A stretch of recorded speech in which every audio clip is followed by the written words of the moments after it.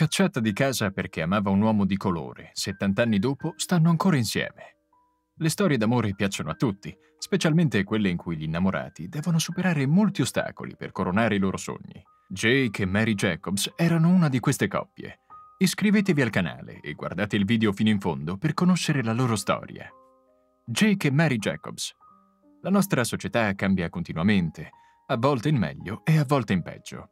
Negli ultimi anni abbiamo smesso di prestare troppa attenzione al colore della pelle dei nostri vicini, ma solo pochi decenni fa diversi paesi del mondo erano tristemente famosi per le loro politiche razziali. Le minoranze hanno dovuto lottare strenuamente per il riconoscimento dei loro diritti basilari e ancora oggi non hanno raggiunto la completa parità. Basta pensare ai paesi come il Sudafrica, gli Stati Uniti d'America o il Canada, dove la schiavitù dei neri e il segregazionismo sono durati fino al XX secolo. Oggi, sulla carta, dovremmo essere tutti uguali, anche se a volte i pregiudizi si fanno ancora sentire negli stati più conservatori della società.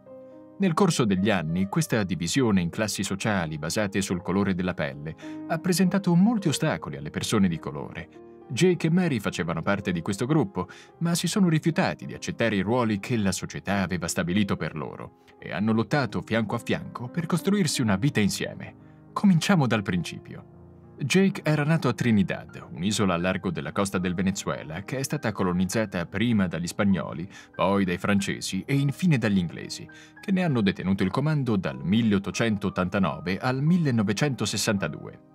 All'età di 20 anni, Jake si era arruolato nell'esercito americano ed era stato inviato in Gran Bretagna per lottare nella Seconda Guerra Mondiale. Era stato stanziato alla base militare di Bartonwood, presso Lancashire, proprio dove viveva Mary.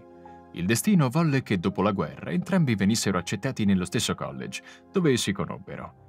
Se il mondo fosse progressista e liberale, come vorremmo, non dovremmo nemmeno menzionare che Jake era un uomo di colore e Mary una donna bianca. Ma purtroppo questo dettaglio è profondamente rilevante nella storia che vi stiamo raccontando. Negli anni 40 il Regno Unito ospitava pochissime persone di colore. Ovviamente gli abitanti nelle colonie avevano una pelle molto diversa da quella dei cittadini britannici, ma oltreoceano quella consapevolezza sembrava impallidire dietro a una coltre di ignoranza. Jake però cominciò l'addestramento presso l'aeronautica inglese, nello stesso college in cui Mary stava prendendo lezioni di dattilografia. Mary proveniva da una famiglia ebrea molto conservatrice che desiderava che sposasse un uomo incontrato all'interno della comunità. Chiaramente nessuno avrebbe potuto immaginare che Mary si sarebbe innamorata proprio di un uomo di colore. Ma nel momento in cui i suoi occhi incontrarono quelli di Jake, scattò una scintilla impossibile da ignorare. Quel giorno stava passeggiando nel campus universitario con un'amica, quando Jake e alcuni dei suoi amici le invitarono a fare due chiacchiere. Mary e la sua amica si avvicinarono incuriosite dal loro aspetto esotico e rimasero stupite di sentirli parlare un inglese perfetto. Quando Jake citò un brano di Shakespeare, Mary capì che era un uomo speciale. Qualche settimana dopo il loro primo incontro, Jake invitò Mary e la sua amica a un picnic di gruppo. Doveva essere un'immagine sconvolgente per i cittadini britannici dell'epoca e una donna che passava in bicicletta per il parco osservò inorridita quel gruppo misto, concentrandosi in particolar modo sulle due ragazze bianche. Il caso volle che la donna fosse un'amica della famiglia di Mary e raccontò al padre della ragazza quello che aveva visto nel parco. L'uomo reagì con sdegno di fronte alla notizia e proibì alla figlia di rivedere Jake e i suoi amici. Era un ordine basato soltanto sui pregiudizi razziali, ovviamente, perché l'uomo non fece nemmeno uno sforzo per conoscere il giovanotto con la testa sulle spalle che sembrava interessato alla figlia. Potremmo dire che il ragionamento dell'uomo era una semplice conseguenza dell'ignoranza dell'epoca, ma non sarebbe corretto. Molte persone a quei tempi avevano già cominciato a sfidare i divieti imposti dalla società sulla mescolanza razziale e, sebbene fossero una netta minoranza, i loro sforzi non possono essere dimenticati.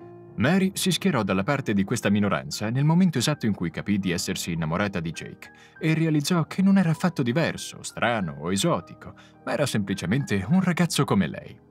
Quello che le avevano insegnato sulle persone di colore era sbagliato e non poteva continuare a fingere che non le interessasse, a prescindere dall'opinione del padre.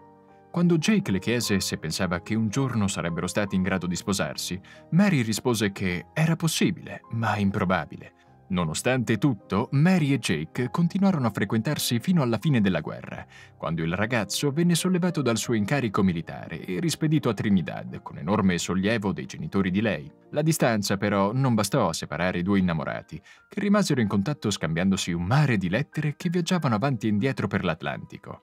Al momento Jake non aveva il modo né il permesso per rientrare nel Regno Unito. Nel 1948 qualcosa cambiò. Il Parlamento inglese promulgò il British Nationality Act che offriva ai cittadini del Commonwealth la possibilità di ottenere la cittadinanza inglese e di stabilirsi in Gran Bretagna. Il Regno Unito aveva bisogno di manodopera per ricostruire il paese dopo i bombardamenti devastanti causati dalla Seconda Guerra Mondiale e offrì lavoro ai cittadini delle sue colonie, inclusa Trinidad. Jake non se lo fece ripetere due volte.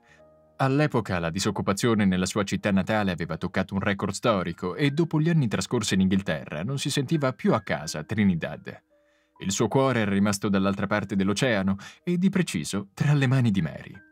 Jake si presentò alla sua porta il giorno stesso in cui sbarcò in Gran Bretagna e i due innamorati ricominciarono a frequentarsi come se non fosse passato nemmeno un giorno. Jake aveva capito che voleva passare il resto dei suoi giorni con Mary e un giorno, di punto in bianco, le chiese essere o non essere. Mi vuoi sposare? Citando ancora una volta il poeta che l'aveva conquistata la prima volta. Lei rispose di sì. E i due innamorati si sposarono quello stesso anno, nonostante le obiezioni sollevate dalla famiglia di Mary.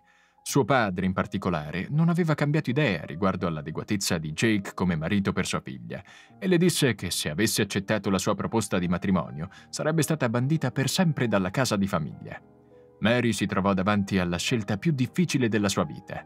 Aveva soltanto 19 anni, ma l'amore per Jake era più forte di qualsiasi altro sentimento che avesse mai provato. Così decise di accettare la sua proposta e venne diseredata dalla sua famiglia. Non erano solo i suoi parenti a giudicare negativamente quell'unione. Le coppie miste attiravano sguardi sdegnati in tutto il paese e non venivano ancora accettate nella società dell'epoca.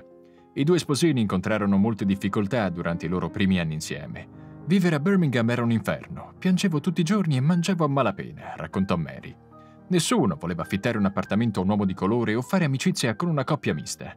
La coppia ricevette molte risposte negative prima di riuscire finalmente a trovare una persona disposta ad affittare una casa a una coppia mista. Ma col passare degli anni le cose migliorarono. Mary trovò lavoro come insegnante e Jake venne assunto prima presso un'azienda locale e poi all'ufficio postale. Col tempo riuscirono persino a trovare degli amici, ma non sempre venivano accolti a braccia aperte. Ogni volta che Mary conosceva una persona nuova, doveva specificare che suo marito era nero e molti si tiravano indietro, interrompendo l'amicizia. Jake sperimentò il lato più oscuro del razzismo. Una volta, mentre viaggiava su un autobus, un uomo strofinò le mani sul suo collo con violenza e gli spiegò che voleva assicurarsi che il colore non sbiadisse al contatto. Riuscite a immaginare il livello di ignoranza e irriverenza che doveva sopportare ogni giorno? Jake e Mary provarono a mettere su famiglia, ma il destino non era d'accordo. La loro prima gravidanza si concluse con un bambino nato morto e provocò in entrambi un dolore talmente insopportabile che decisero di non provarci più. La famiglia di Jake era dall'altra parte dell'oceano, quella di Mary non accettava la loro unione e gli amici scarseggiavano, ma il loro amore non era stato indebolito dalle difficoltà. Il padre di Mary venne a mancare quando la ragazza aveva solo 30 anni e sebbene avesse ricominciato a rivolgerle la parola di tanto in tanto, non aveva mai accettato la presenza di Jake nella vita della figlia. Mary era devastata. Quando la società non ci accetta, possiamo sempre contare sulla famiglia, ma quando ci viene tolto anche il supporto dei nostri cari, mantenere la testa alta è molto complicato. Mary è ancora triste che la sua famiglia le abbia voltato le spalle, ma non ha mai rimpianto la sua decisione. Proprio così, Dopo più di 70 anni di matrimonio, Mary e Jake stanno ancora insieme e sono felici di aver fatto quel salto nel vuoto. Oggi vivono a Solihull, nelle West Midlands, e hanno più di 80 anni a testa.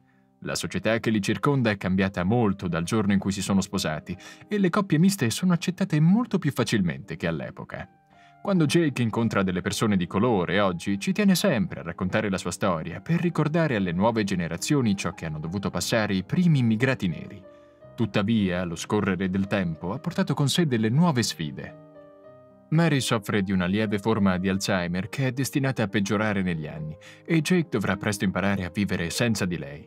Fino a quel momento, però, faranno il possibile per rimanere la coppia fiatata e felice che sono sempre stati, nonostante gli ostacoli e pregiudizi dell'epoca in cui sono nati. Conoscete anche voi una coppia mista che ha subito degli episodi di razzismo? Raccontateci le vostre esperienze nei commenti. Non dimenticatevi di mettere mi piace al video e di iscrivervi al canale per rimanere sempre aggiornati sulle nostre prossime storie interessanti.